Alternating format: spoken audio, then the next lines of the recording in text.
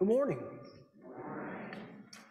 Thank you for all being here this morning. It's such a beautiful day, and it's a Sunday after Easter, so those two things combined make this what has always been traditionally called Low Sunday. But you're doing pretty good being here, and it looks like we have, uh, let's see, about 20 of you on here on Zoom, so that's good as well. Can the Zoom folks hear me? Thumbs up, please. I see it. Okay, we're good. All right, well, Welcome to the Sunday after Easter. And as I always like to remind us in some form or another, that Easter is not one day, it is every day. It's not one Sunday, but it's also today. There is life to be lived because Christ lives, and so we rejoice in that and come together today to worship. So, I want to take a moment and let us share anything we need to share by way of church and what's going on. Anything in this part of the building? There's Esther. Go ahead, Esther. A thank you to everybody who came out to help make egg sandwiches and steak sandwiches for daycare's uh, playground. I think they took in about $1,297. And Kathleen and I had puzzles and books and a few other things out, and we raised $120 for Ephrata Manor. Wonderful. Yes, a big thank you to everybody for helping out with that. Our care center families provided all the ingredients for the breakfast sandwiches. The Men's Brotherhood donated the ingredients for some cheesesteaks that we made, and uh, several of you were able to be here and help us out, and that was that was great. It was uh, well attended, ran out of food, and uh, that was good. So, other things here, over here. Go ahead, Linda. Let us know about our flowers this morning. Uh, the flowers this morning are presented by Skip Kinden, and in celebration of spring. What a good day for it. Good day for it, Skip. Thank you, Skip, for having this. Anyone else over here? Yep, Corey's got a big thank you to share, I believe, as well.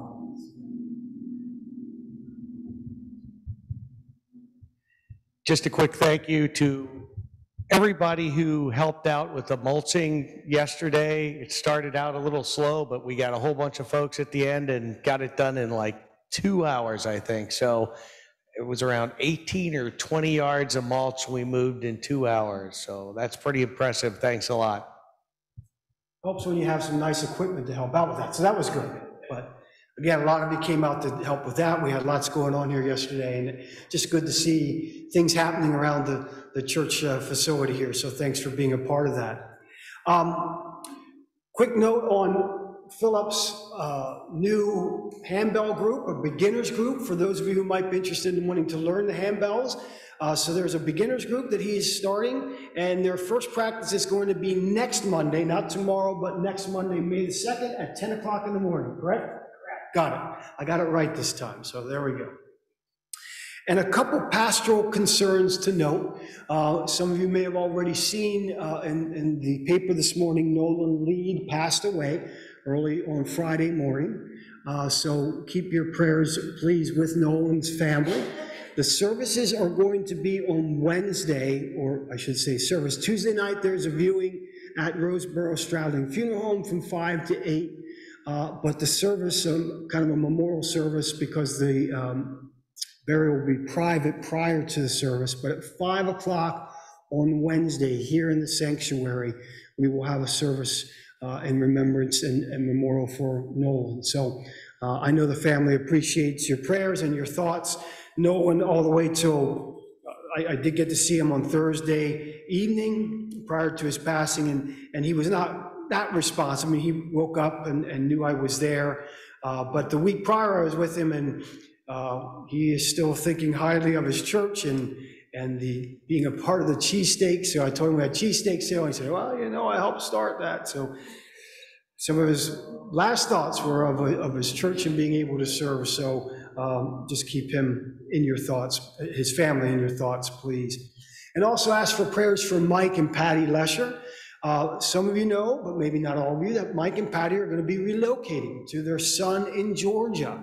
Uh, They're looking forward to the opportunity to, to live with him and, and their new grandchild and just uh, uh, be there. So they're heading out on Tuesday, I believe is their final date of leaving time here. So keep Mike and Patty, who I suspect are probably on Zoom because they always are, uh, keep them in your thoughts and in your prayers.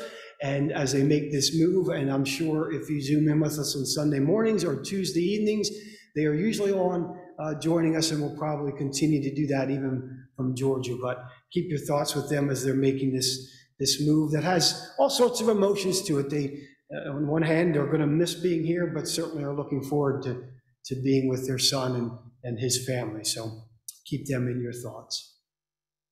We have much that God is doing among us and through us, a life that's all around us that we should never forget that there is resurrection. Resurrection, which is the hope and the word for the lead family today, but resurrection, which is the hope and the life that courses through us here as we worship this morning and all folks who are worshiping today with the good news of Christ's resurrection. So we bring ourselves before Christ, we bring ourselves before our Lord, and let our hearts be ready to worship Him. Let's pray. Almighty God, we thank you this day. We thank you for the beauty of the day.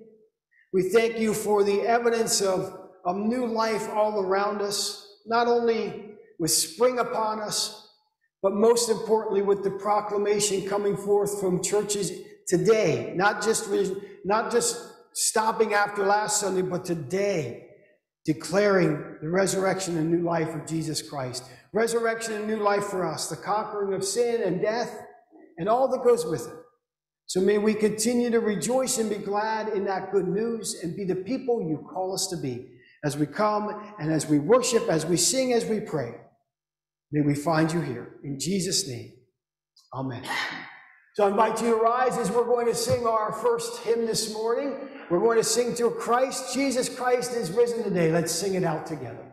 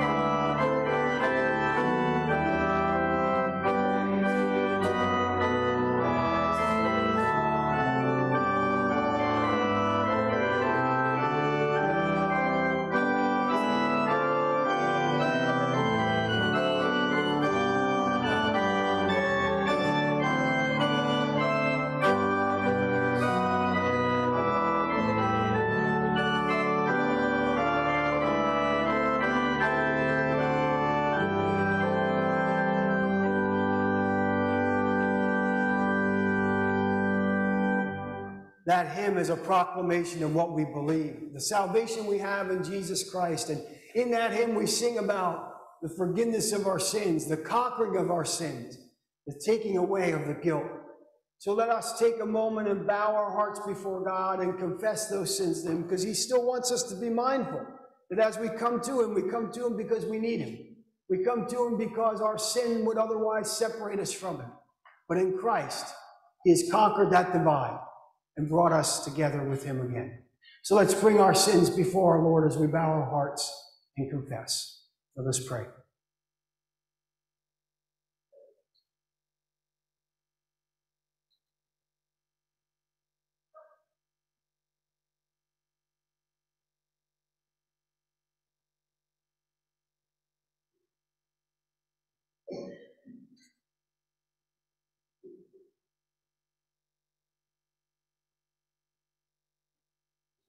Gracious God, it is a joy and a relief to be able to declare the resurrection of Christ, a resurrection that proves that our sins have been taken care of and conquered, that you have loved us despite ourselves, and yet we still seem to want to roll that stone back over our lives. We still want to hide ourselves in our guilt and our shame and still find ourselves walking in our own ways instead of yours. So we come today and confess that. We come today asking that we might again be reminded of the life that you give us in Christ and the, and the direction you lead us toward and the words you've implanted into our hearts. Forgive us, Lord, for all those ways in which we just do our own thing, in which we continue to put Jesus back on the cross instead of keep them alive in our lives, in our hearts, and our ways.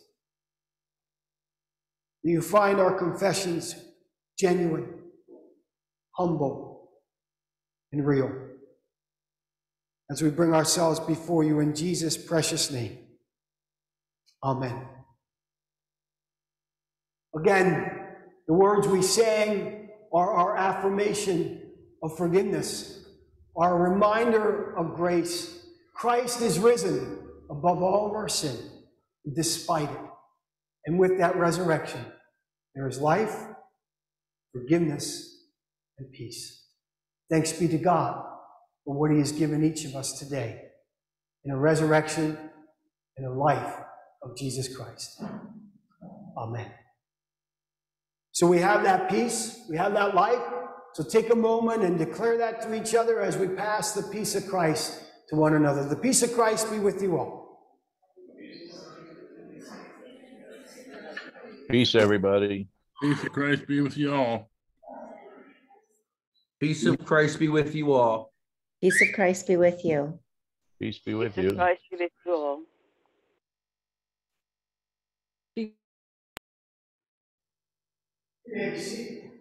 Except for my young friends coming up here. I'm going to use this, Corey, if that's okay. I'll use the. Word. Come on up and have a seat with me if you would, please. Everybody hear me? There we go. So, how was Easter? Was it good? That's good. Well, you know what? It continues. It doesn't just stop with one day.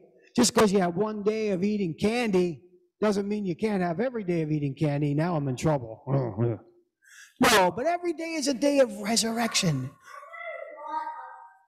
You had a lot of candy. I did too, Finn. That's all part of the fun of Easter. But it's always a reminder that with Easter, Jesus is alive. That's our big story, right? Jesus is alive. He was dead, but he's alive. And last week when you were here, we had all the flowers around here, and I told you, I reminded you that those flowers are, are a way of reminding us that there's always new life. And now it's springtime outside, and you're starting to see the trees are getting green, and the bushes are getting flowers, and the flowers are coming up from the ground, all as a reminder of new life. You have a flower inside. Very good.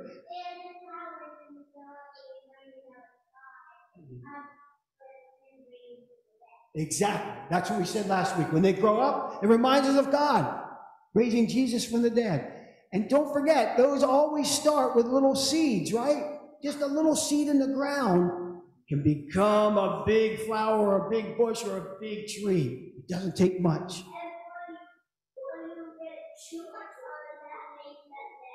You don't want too much water. Exactly. You're going to become a horticulturist or whatever you call it. You're in good shape. So, yes, you got to take care of the seed so that it grows. We got to take care of the seed of knowing Jesus died for us so that that keeps growing in our life. You know what it means to take care of that seed? Just like you put water on the seed and you put sunshine on the seed so it grows. It's good enough. Too much. You got to have the right amount. You always got to have sunshine and you always have to have water. So if we want to let the seed of Jesus love grow in us, we always have to have things like church, and we have to have things like learning about God and praying and things that remind us of God's love. So always make sure you have things going on throughout your day that remind you of God's love. Okay? Just like Easter isn't just one Sunday, God's love isn't just one day, it's all the time. Okay? So you're going to go with Miss Stephanie in a moment, and you're going to learn a little bit more about those seeds and growing God's love and remembering all around us, God is showing his love by his creation and his life. And we get to be part of that as we go show other people the love and the life of Christ, okay? Let's pray. We thank you, O Lord, for loving us like you do. I thank you every week for that because, boy, sometimes it's easy to forget that. That's a little seed you've put in our heart that you want to grow bigger and bigger and bigger every day. So remind Rowan and Finn and Lila of your love every day. Put things and people in their life that help grow that love and spring it into action so they can share it with other people. Bless them as they go now and learn more about you. And we thank you today for all you give us. Amen. All right. There is Miss Steph, and here she comes. Join her.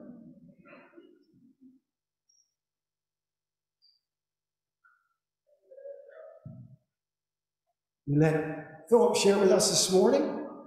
And let that music again keep our hearts worshipful and mindful of the very love of this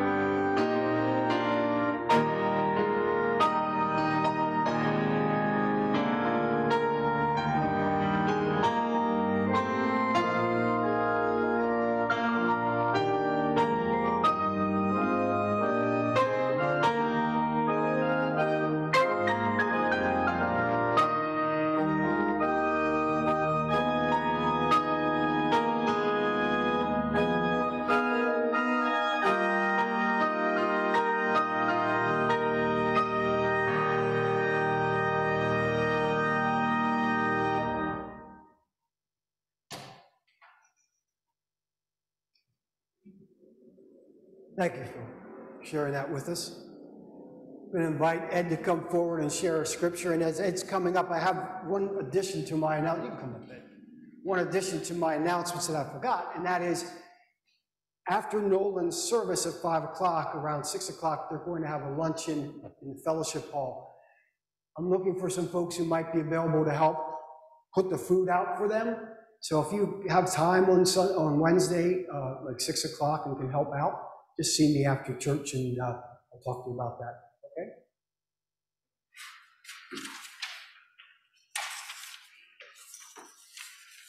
okay? Excuse me. Our lesson today is from the book of John, chapter 20, verses 1 to 18.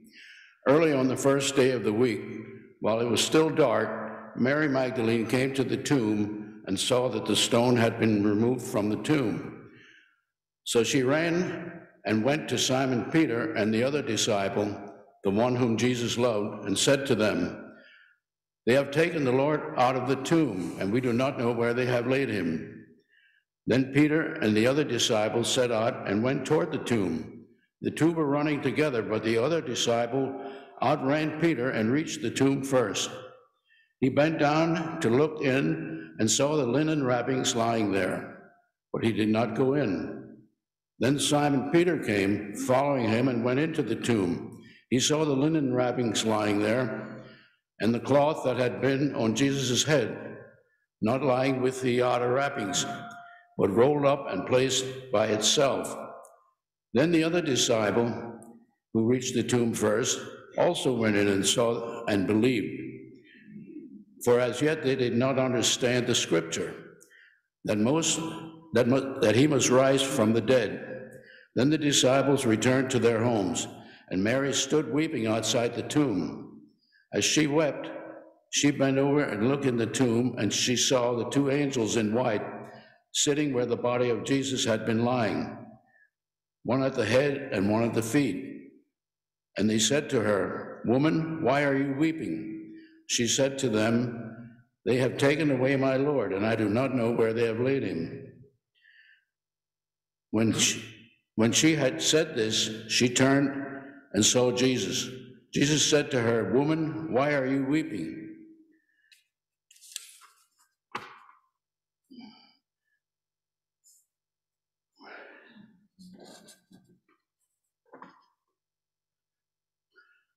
Whom are you looking for? Supposing him to be the gardener, she said to him, Sir, if you have carried him away, tell me where you have laid him, and I will take him away. Jesus said to her, Mary. She turned and said to him in Hebrew, Rabboni, which means teacher. Jesus said to her, Do not hold on to me, because I have not yet ascended to the Father.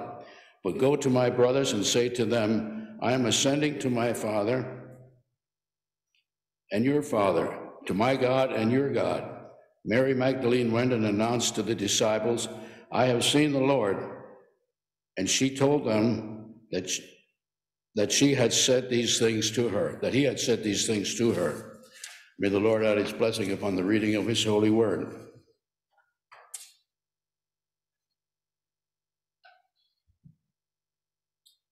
Thank you, Ed. There we go. So let's uh, look at this account of the resurrection. This is the one from the Gospel of John. If you read each Gospel's account of the resurrection, you get kind of a different picture. Some people get caught up in that. Some people get troubled by the fact that all the resurrection stories are slightly different, and John's is especially different. But kind of the simple answer to that is if you had four people witness an accident, you had them all give an accident report, each one's going to have some different details. The details in John are very interesting. So here is Mary Magdalene. She comes while it's still dark, is what John tells us. It's still dark, and she comes to the tomb. She notices the stone is rolled away from the tomb, and she immediately runs back to the disciples, specifically to Peter and the disciple whom Jesus loved, who we believe was John, is just a, a name that John gave himself. and told them the words, They have taken the Lord out of the tomb, and we do not know where they have laid him. So, as far as we know from this point in the story, it was dark. She had to stoop down. I think we have this idea of a tomb uh, of being one in which you just walk into, but John presents the tomb as being something that you have to stoop down and almost crawl into to get there. It was still dark, so she really couldn't see in that tomb. But because the stone was rolled away, she immediately interpreted the situation as they have taken the Lord out of the tomb, and we do not know where they've laid him. And upon hearing that, Peter and John go sprinting to the tomb. And John, the younger one, gets there first, but he doesn't go in. He stoops in, he kind of sees some linen cloths there, and then Peter rushes past him, goes into the tomb. And once he gets in there, he sees the linen cloths laying there. He sees the face cloth that would have been over Jesus' face laying at the other end of the tomb. And then John comes in, and it says they believed. Now, sometimes we think of that, or some people interpret that as they believed Jesus had been resurrected. But that isn't what they believed. What did they believe? They believed that they had taken the Lord out of the tomb, and we do not know where they laid him. They believe with Mary that Jesus is dead and has been his body stolen or removed and placed somewhere else. That's what they believe. Because it says, for they have yet to understand the scriptures about his resurrection. And they went home. Odd, but they went home. But Mary stays outside the tomb. And she looks in, and instead of seeing linen cloths, she sees two angels. And the angels say to her, Why are you crying? And she says, Again, they have taken the Lord out of the tomb, and we do not know where they have laid him. So now she's still outside, she's still there at the tomb, and Jesus is there. But she does not know that it's Jesus.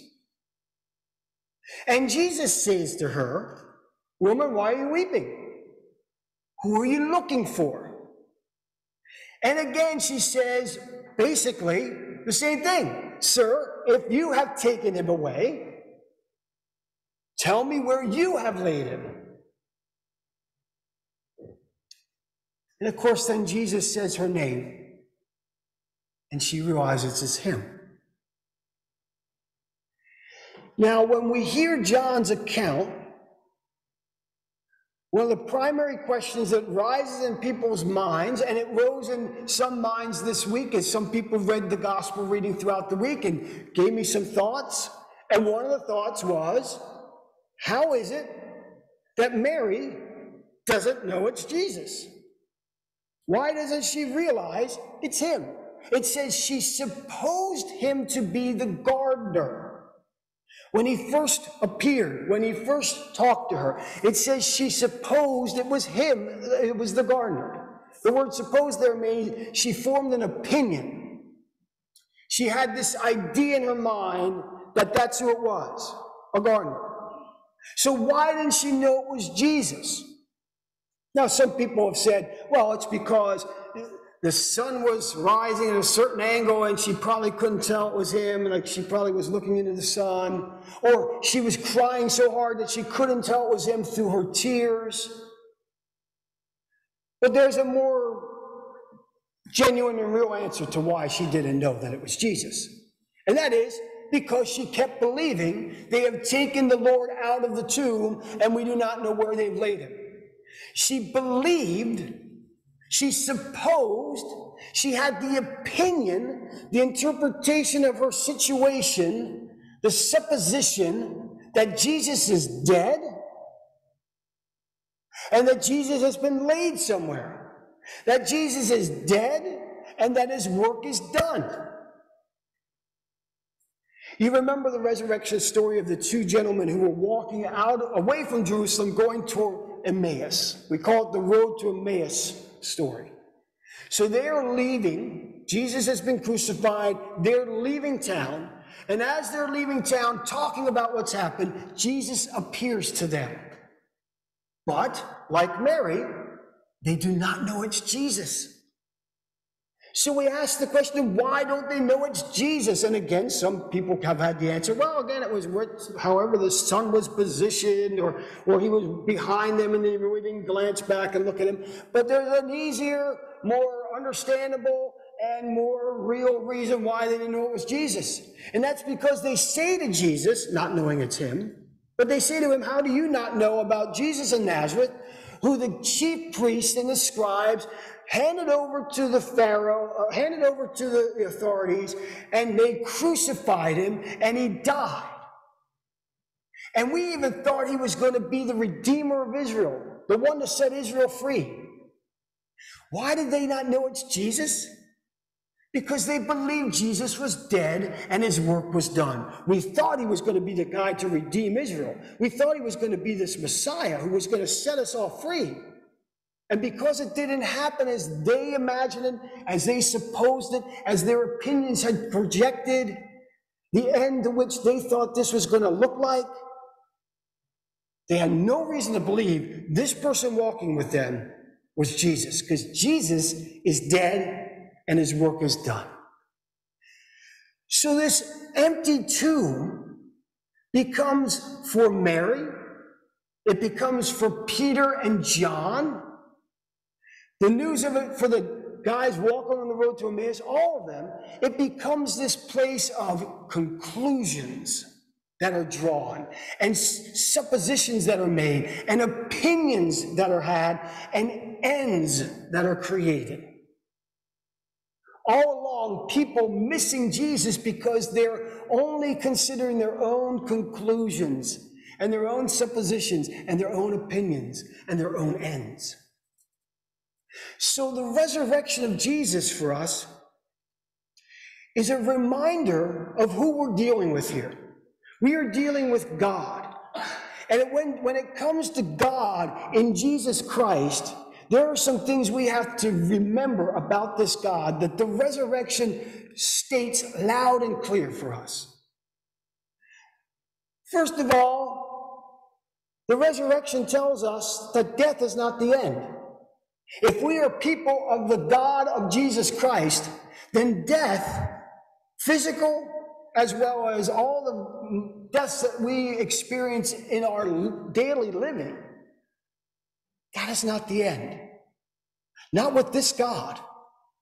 We might look at death and jump to the conclusion or have the opinion or the interpretation or the supposition that everything's done, it's over. But not with God.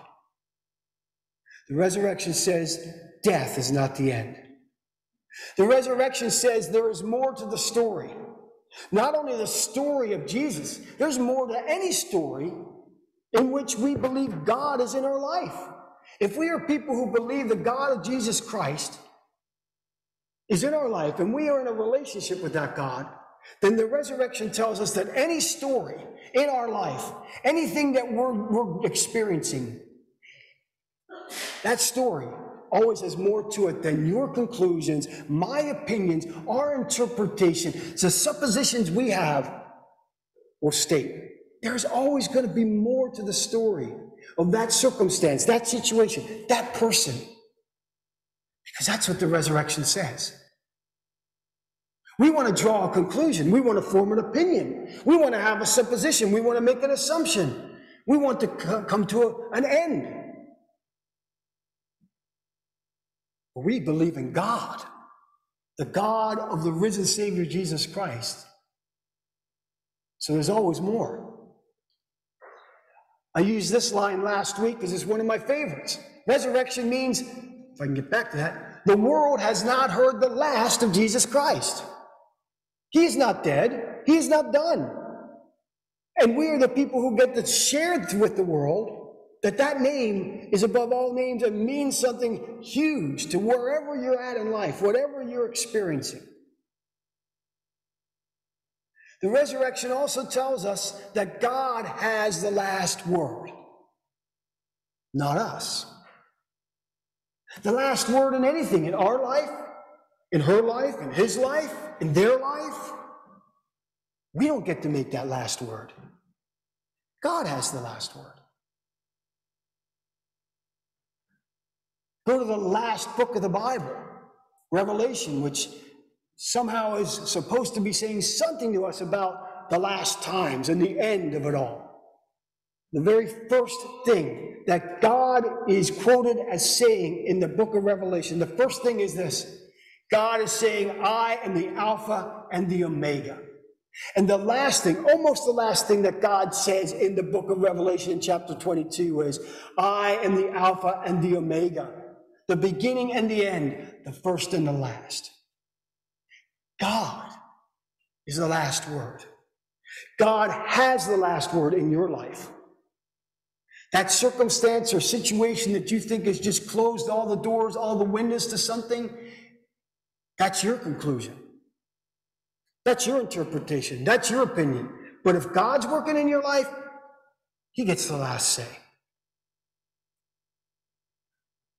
Resurrection also tells us that we shouldn't be so quick to form an opinion. We really need to hear that today.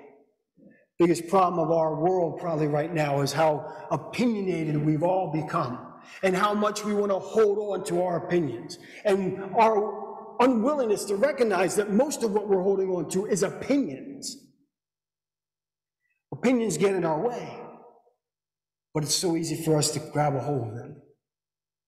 I'm often reminded of, and I think I probably shared this once before, but uh, supposedly there was an MGM executive in the entertainment world there at MGM, and when he was assessing a newcomer by the name of Fred Astaire, I'm looking around, and I think everybody here knows who that is, so I don't have to like explain.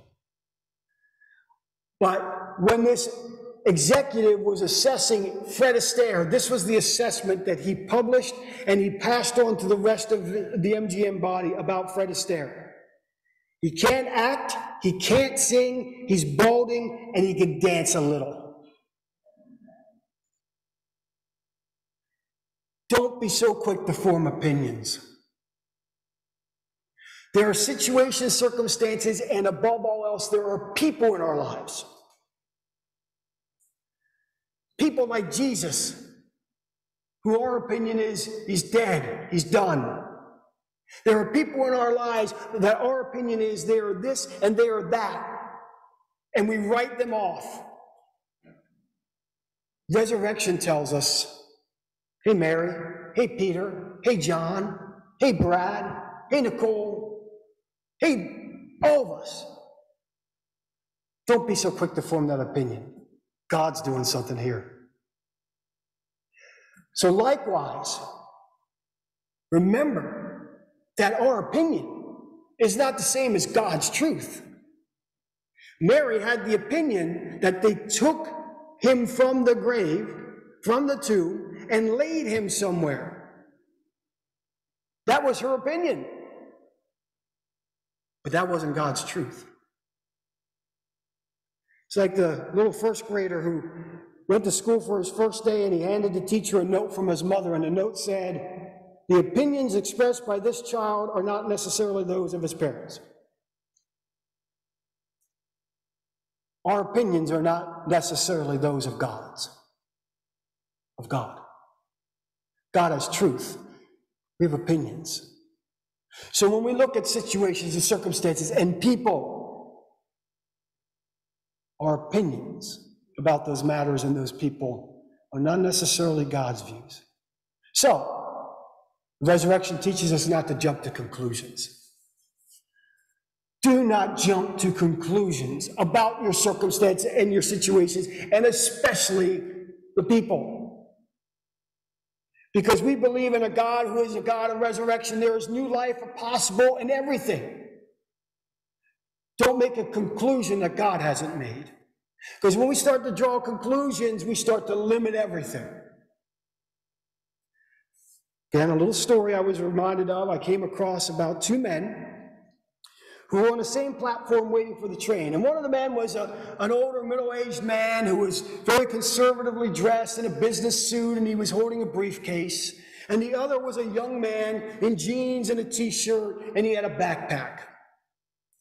The older man looked at his gold expensive wrist, wristwatch, and the young man noticed that. So the young man said, uh, Could you tell me what the time is, sir?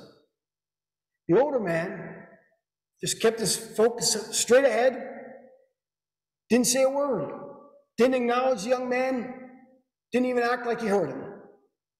So the young man uh, just repeated again. He said, Sir, sir, could you please tell me the time? And again, the older man fixated straight ahead, no acknowledgement of the young man. So finally, the young man says, Hey, look, I just want to know the time. And I noticed you looked at your wristwatch, and I know you know the time. Can you just please let me know the time? Why, why can't you tell me that? And the older man says, He finally relents and he says, Listen. He says, If I tell you the time, we're going to strike up a conversation. And we're going to probably like each other. And maybe we'll become friends. And so I might invite you to dinner at my house. And you're going to meet my unmarried daughter. And you're going to, you're going to be attracted to her. And you're going to ask her out on a date. And she's going to say yes because you're her type. And you're probably going to really enjoy each other's company. You're going to propose to her. And she's probably going to say yes. And then you're going to get married. And he stopped. The young man said, Well, okay, let's assume all that's happened. That happened. So, so what's so wrong with that? And the older man replies, Because I don't want my daughter marrying a guy who can't afford a watch.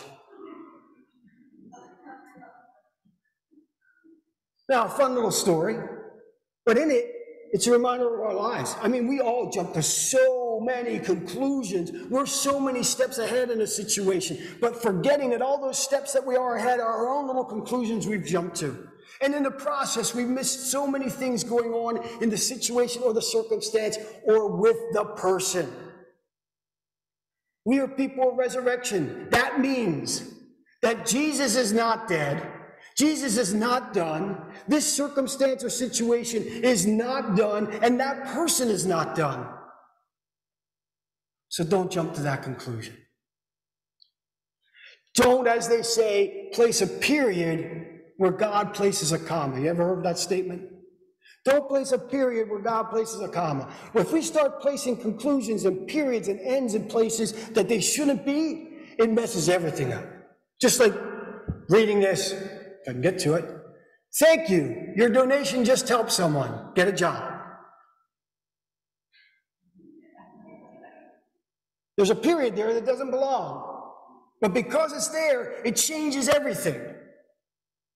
Likewise, in our lives, when we start putting periods where God is trying to do things, we're going to mess up everything. We're missing so much. We're misinterpreting so much.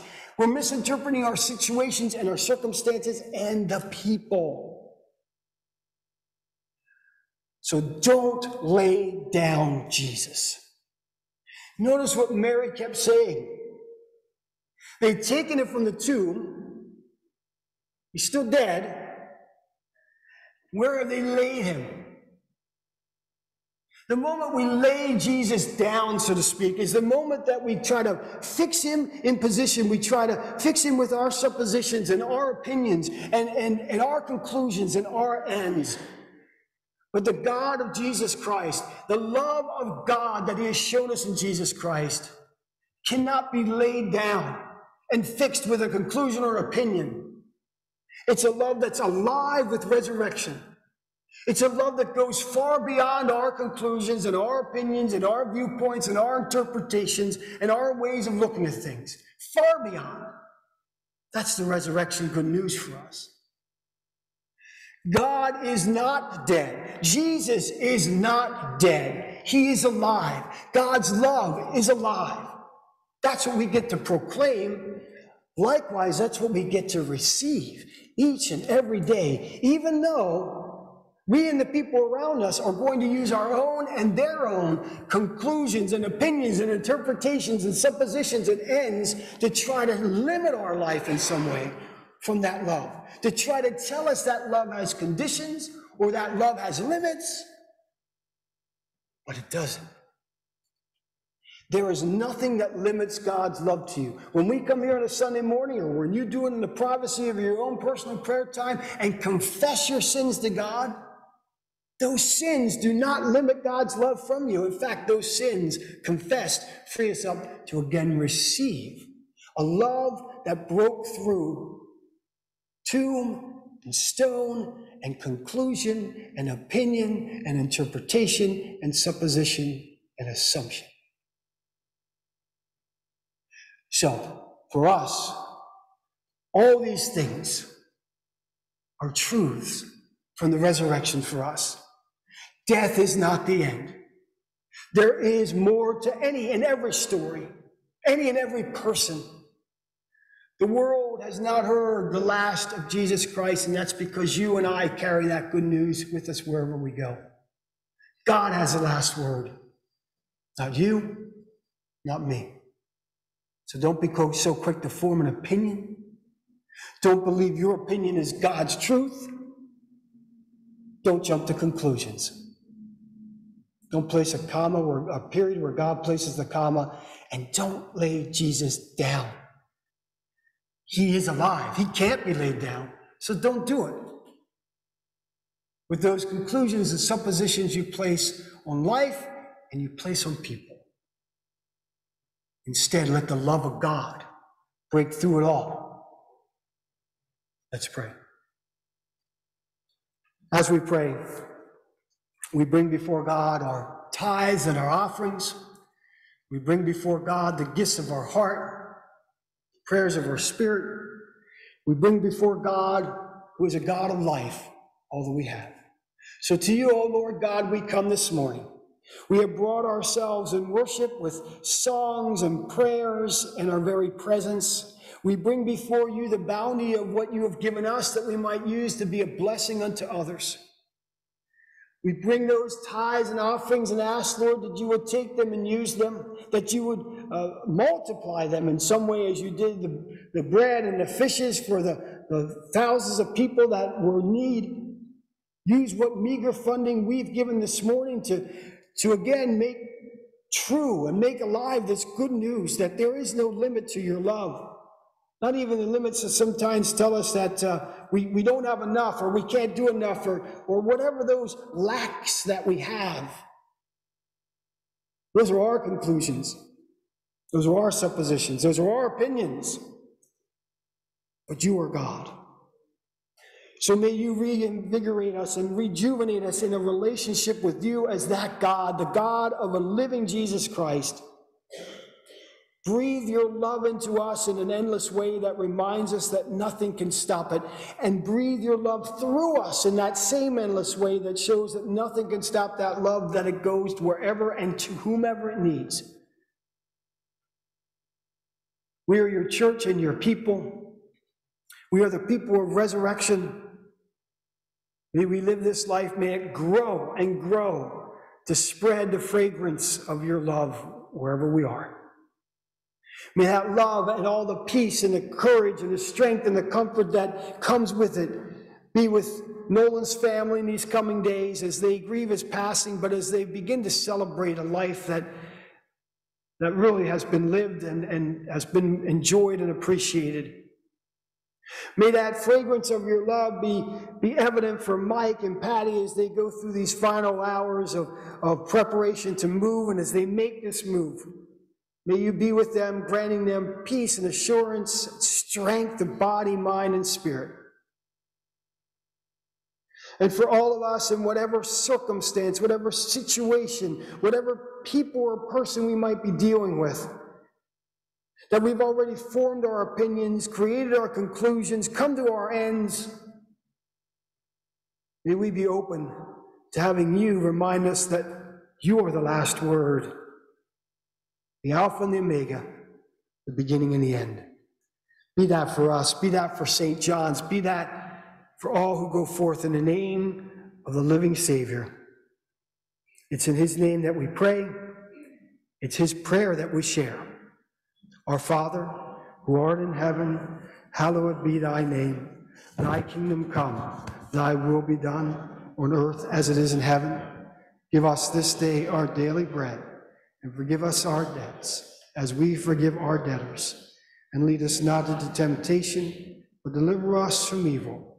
For thine is the kingdom, the power, and the glory forever. Amen. I'm going to invite you all to rise and we're going to sing our final hymn together. We sang a couple of these verses last week, but we're going to sing the full hymn, the full four verses. Hallelujah, hallelujah, hearts to heaven. Let's sing it out together.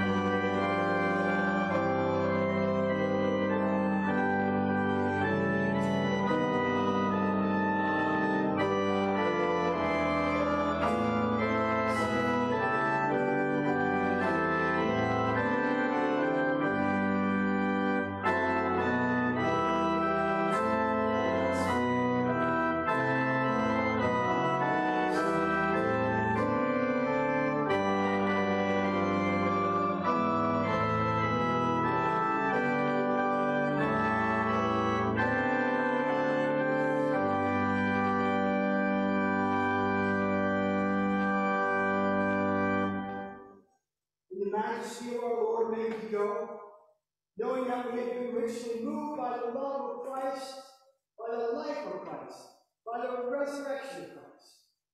Let us go and find him as we go, not only to move